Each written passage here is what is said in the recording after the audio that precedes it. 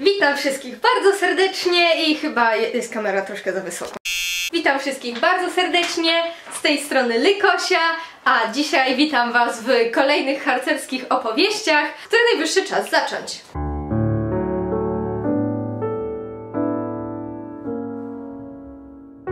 Tak więc, tak jak dzisiejszy tytuł mówi, dzisiaj zajmiemy się obowiązkami kadry i rozpisałam je sobie w taki sposób na kartce.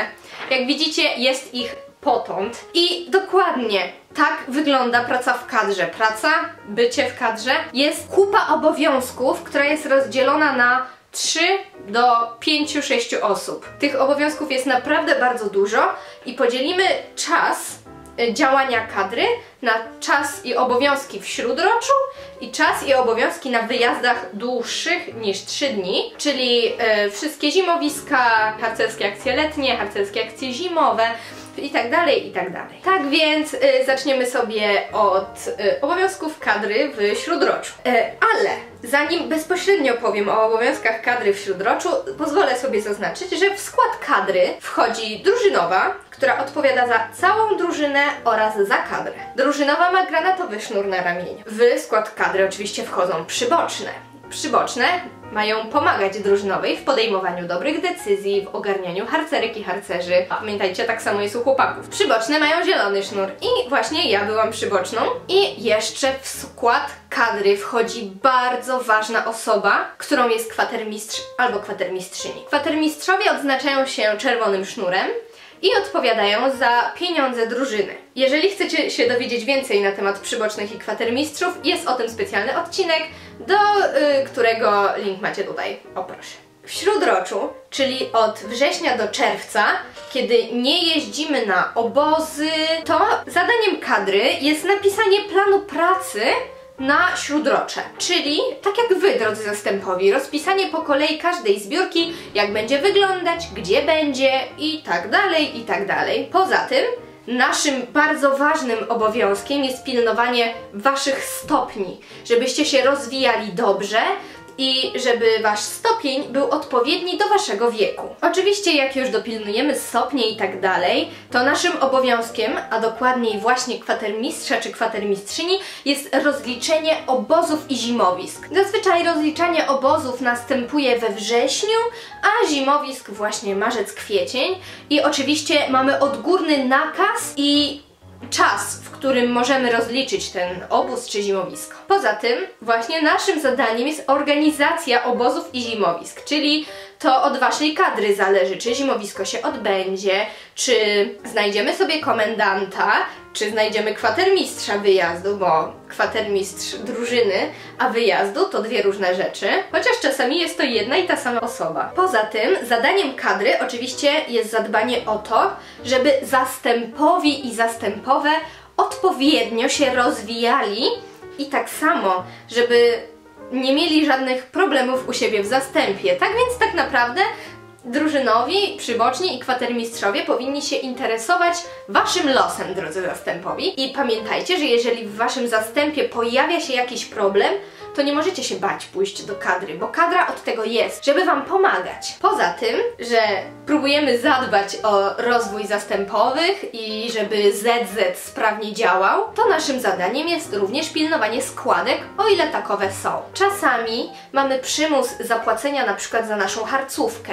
dlatego dostajemy prośbę od y, kadry o to, żeby członek drużyny każdy zapłacił symboliczną kwotę i zazwyczaj nie przekracza ona 50 zł na cały rok, czyli to jest całkiem mało, miesięcznie na przykład tylko piątak. Innym istotnym zadaniem osoby z kadry jest robienie biwaków oraz robienie zbiórek drużyny. W tym momencie tych obowiązków mamy ile?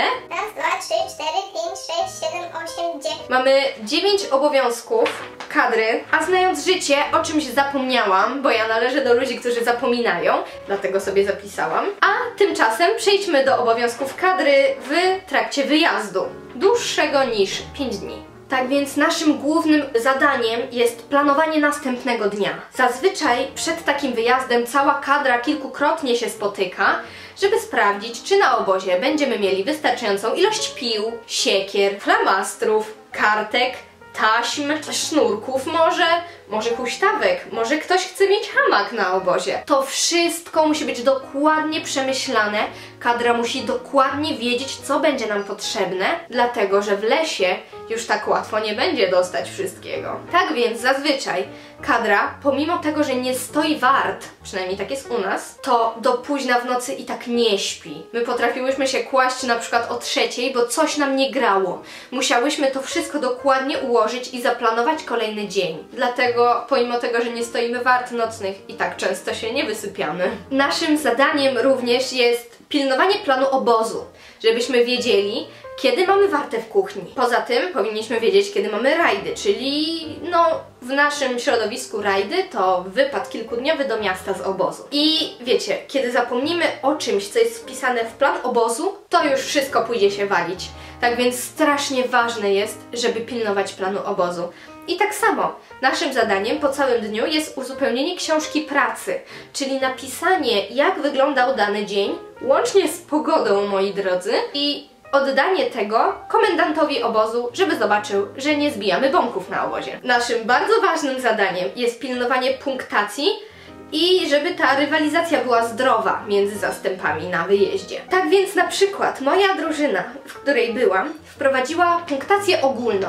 Cała drużyna razem się starała o to, żeby przekroczyć pewien próg punktowy, w zamian za to otrzymać jakąś nagrodę czyli na przykład dłuższą przerwę poobiednią. Razem z wartami kuchennymi idą też warty nocne i dzienne, które są bardzo ważnym elementem dnia harcerskiego i metodyki wychowania harcerskiej, więc kadra musi pilnować, kto dziś stoi, kto stał wczoraj i kto stoi jutro. Poza tym, może brzmieć to głupio, ale do nas należy pilnowanie, czy każdy je odpowiednio dużo, i czy myje się odpowiednio często. Tak więc, kiedy pojawia się perełka, która na przykład nic nie je, naszym zadaniem jest dowiedzieć się, dlaczego nie je, bo niejedzenie może być na przykład skutkiem ogromnego smutku i tęsknoty za rodzicami, a niemycie się może być spowodowane na przykład rozleniwieniem albo tym, że nie pilnował tego zastępowy. I tutaj pojawia się kolejny obowiązek, czyli pilnowanie, czy atmosfera w zastępach jest ok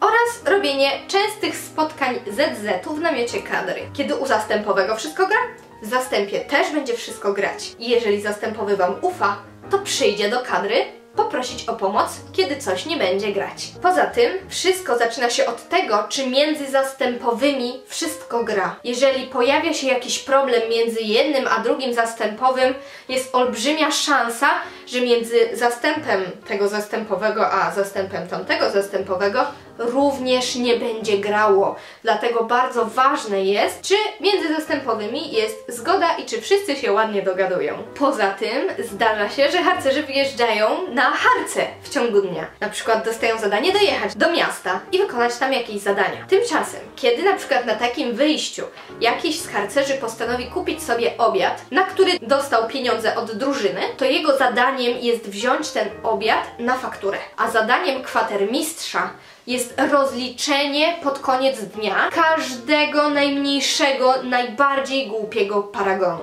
Tak więc moi drodzy, to by było na tyle. Jak sami widzicie, bycie w kadrze to jest największy multitasking, jaki na, tak naprawdę kiedykolwiek w życiu doświadczyłam i zazwyczaj y, trzeba umieć działać na kilku powierzchniach naraz, bo załóżmy są trzy problemy w zastępie, u każdego innego harcerza czy harcerki. Trzeba umieć myśleć o wszystkim naraz na przykład oraz o tym, że właśnie spóźniamy się na obiad, a będziemy musieli przejąć kuchnię pod wieczór, po czym jutro ma być gra terenowa z tą drużyną, więc trzeba się z nimi spotkać. Tymczasem wieczorem jest rada yy, i drużynowych i przybocznych. I po prostu trzeba to wszystko naraz pamiętać, więc Moi drodzy, doceniajcie kadrę, bo to jest naprawdę bardzo trudne być w kadrze. I to, że dostaliście zielony czy czerwony sznur, nie oznacza, że spoczęliście na laurach, tylko że Wam zaufano, że będziecie dobrze wychowywać Wasze kolejne pokolenie. Można by powiedzieć, że dla kadry reszta drużyny to takie największe oczka w głowie. Tak samo pamiętajcie, że kadra też jest ludźmi i jeżeli popełniają błąd, to dlatego,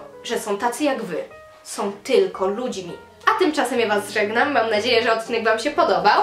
Możecie pisać w komentarzach różne Wasze przygody. Jeżeli jesteście przybocznymi, czy drużynowymi, czy kwatermistrzyniami, to chwalcie się. Ja chętnie poczytam. Ja widzę wszystkie komentarze. A tymczasem żegnam Was. Do zobaczenia do kolejnego odcinka i cześć!